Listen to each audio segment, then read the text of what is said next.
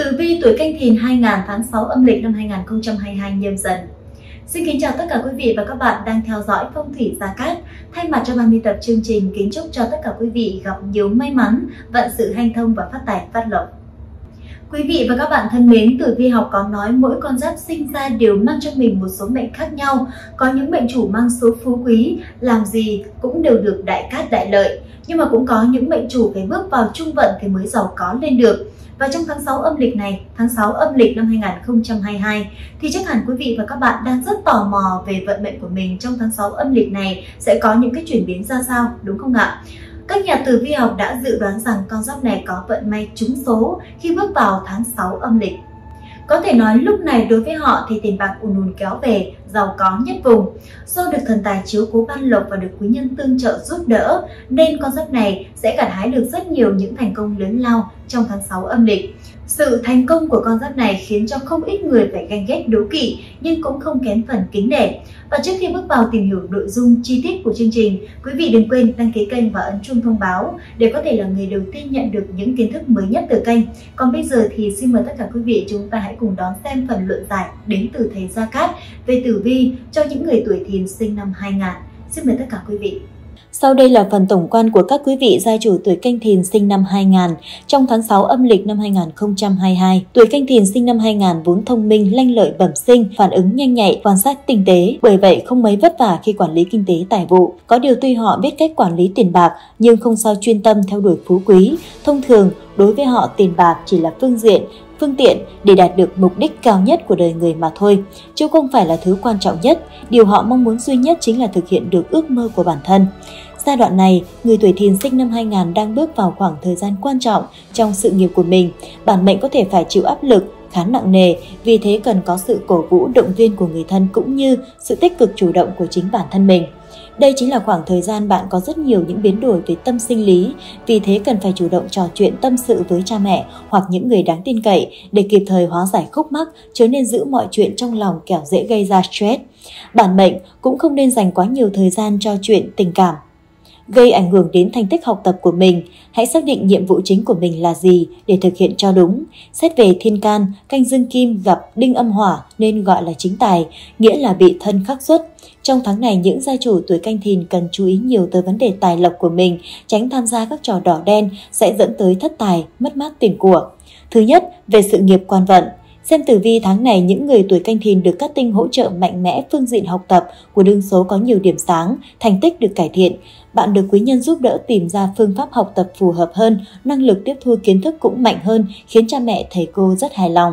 Quý nhân có thể là một người bạn ở ngay bên cạnh bạn. Tinh thần tự giác trong học tập ngày càng được cải thiện. Bạn hiểu được mình còn yếu kém ở mảng kiến thức nào và tự lấp đầy lỗ hổng bằng những giờ tự học.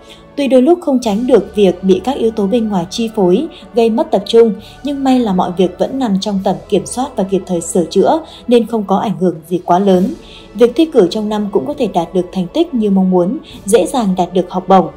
Năm nhâm dần 2022, Thái Tuế là hạ ngạc đại tướng quân, dưới chân của đại tướng quân có một con hổ. Để cho vận trình sức khỏe và gia đạo được hành thông thuận lợi, thầy Gia Cát khuyên quý vị gia chủ hãy luôn mang theo bên mình một kim bài thái tuế để nghênh đón thái tuế, mang lại may mắn, bình an.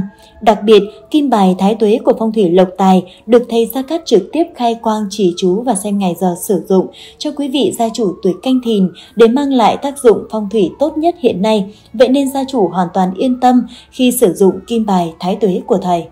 Thứ hai, về mặt tài lộc và tiền bạc, vì vẫn đang trong độ tuổi ăn học nên con giáp này vẫn chưa cần phải lo lắng quá nhiều về vấn đề tài chính, vẫn được cha mẹ chu cấp đầy đủ.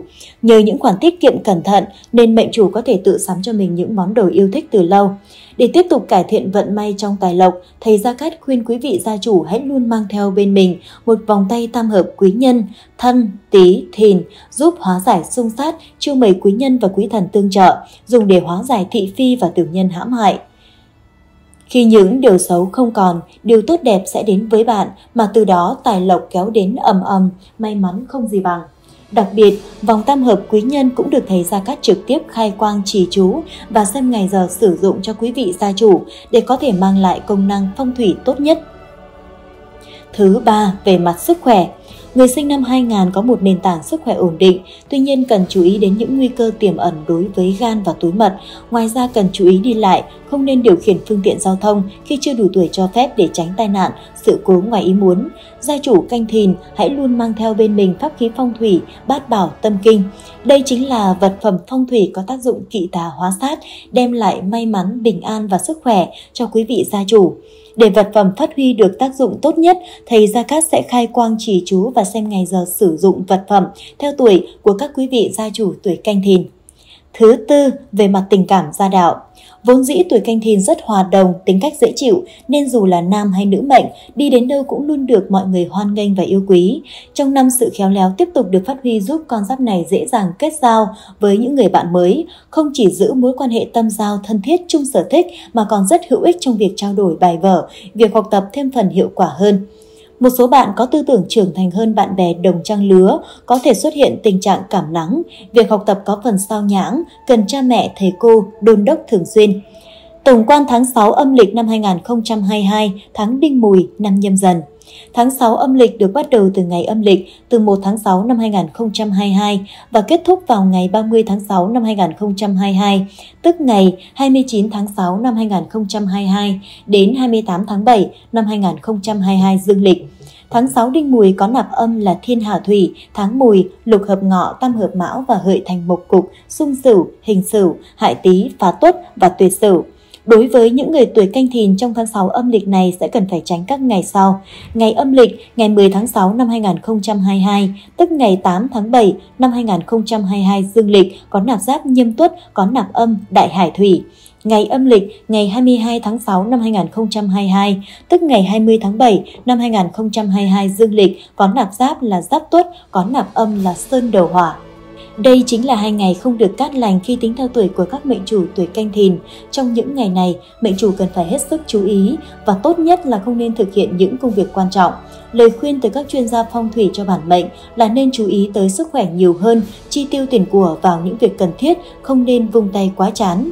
Các ngày tốt đối với những người tuổi canh thìn trong tháng 6 âm lịch năm nhâm dần 2022 ngày âm lịch ngày 9 tháng 6 năm 2022, tức ngày 7 tháng 7 năm 2022 dương lịch có nạp giáp tân dậu, có nạp âm thạch lựu mộc, ngày âm lịch ngày 21 tháng 6 năm 2022, tức ngày 19 tháng 7 năm 2022 dương lịch có nạp giáp quý dậu, có nạp âm kiếm phong kim.